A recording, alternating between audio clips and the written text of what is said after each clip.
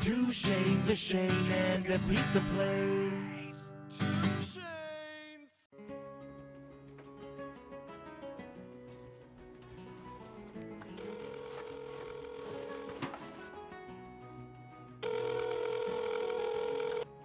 Thank you for calling Domino's, home of the world famous Domino's Dominatrix. How can I help you today? Hi, yeah, Domino's? Hi.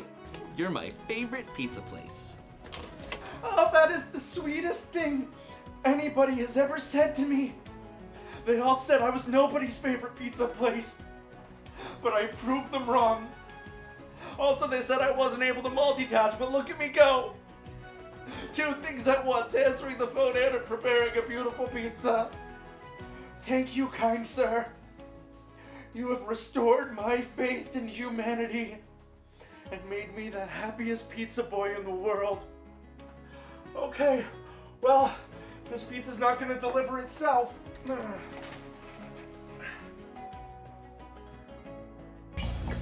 piece missing.